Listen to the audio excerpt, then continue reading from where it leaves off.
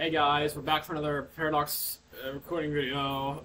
It's now 6 a.m. in the morning. I've been up all night making tier-list videos for y'all. Um, I um, I Round 4 is an S tier. CK3 is an S tier. What else do I have here? Let's see.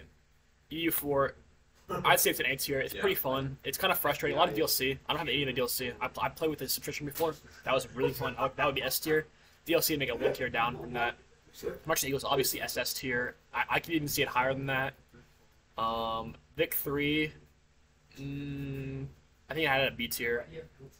It's, it's it's getting better. They just released a huge update recently. Pretty good. Stellaris C tier. CK2 played B tier. Uh, I haven't actually played CK2, but I've heard good things about it. I'm leaving it here because CK3 is great, and the CK2 is more content, but the graphics are way worse. Here to roam D tier. Vic 2, better than Vic 3. A tier. Actually, actually, I have played Vic 2 a little bit. Um, besides that, obviously, I already went through all of these because I didn't hit record, but these are all I've never played before.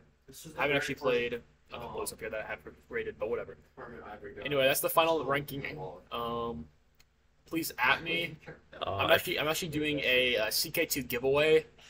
Please DM me my home address. If you can, if you can guess my home address correctly, I will give you CK2 for free, and then I will beg for mercy and probably initiate Article Three of the Beekman Gaming Associates contract.